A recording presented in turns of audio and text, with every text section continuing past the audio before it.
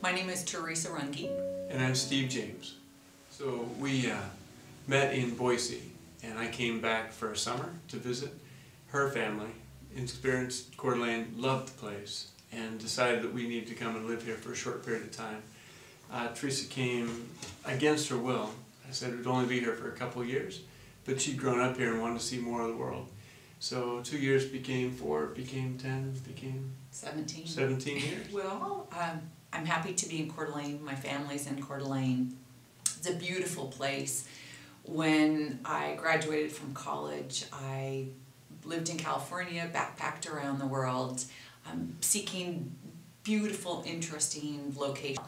And when I came back to Coeur d'Alene, I realized how completely beautiful it was, and it was more beautiful than many of the places that I had seen. First of all, we have we have children. We have two daughters, ages 10 and 12, and of course, we want the best for them. We want them to be able to experience the recreational opportunities that I had as a child. I've been very involved with the Tubbs Hill Foundation, trying to keep it in its natural state selfishly for myself, for my children, and for other generations.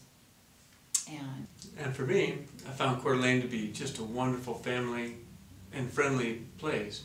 And people have really gone out of their way to help us. So anything we can do to give back is fantastic. Maybe about five years ago, that there was a, and there has been a, a decrease in population of families in the downtown area. My daughter, my oldest daughter at that time, attended Sorenson Elementary School, and we just found that there was a pretty large attrition rate at the school as people were moving north. And the school district proposed closing the school. It was a sweet school, many opportunities, very family oriented. And so a, a number of us, actually a lot of us got together and um, fought the fight and we were able to, to save the school.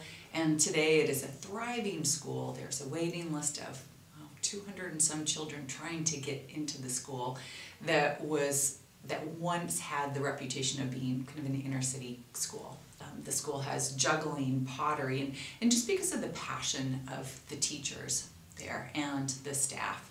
And it also is a very small school, which at one time it, it, was not embraced, and now I think a lot of people want to go back to that that family situation, and and again one that really em embraces the arts too.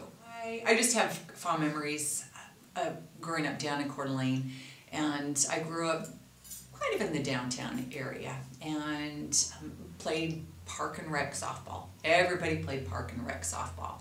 And so at that time, we would all ride our bikes down to the field and we'd have our t-shirts on and we'd wear our t-shirts to practice, t-shirts to games. We had so much pride. And so that's something that when I think of Coeur d'Alene, and especially Coeur d'Alene in the summer, I think of riding my bike down, playing softball, probably getting a snow cone down at McEuen Field. Very proud of, and we were all on the Runge Furniture team. I was not a good softball player, but it didn't matter. I played anyway. Matter. It was more about the snow cones afterwards.